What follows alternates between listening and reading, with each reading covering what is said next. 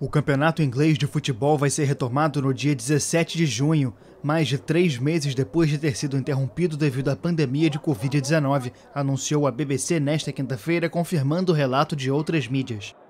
Dois jogos que foram adiados vão ser disputados neste dia para atualizar o calendário, e as dez partidas da trigésima rodada seriam depois distribuídas entre os dias 19 e 21 de junho.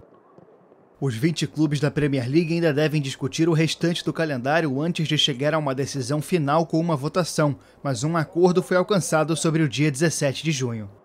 Nesta semana, o campeonato havia dado um grande passo em direção à retomada com autorização de treinamentos com contato entre os atletas.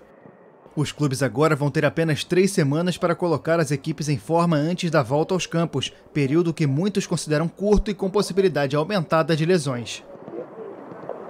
tutto.